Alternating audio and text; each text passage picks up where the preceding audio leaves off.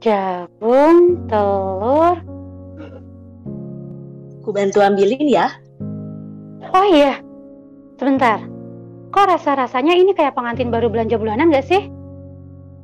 Enggak, enggak. Ini cuma belanja biasa. Masih ada lagi nggak yang perlu dibeli? Hmm, nggak ada sih. Eh, Kak, tunggu.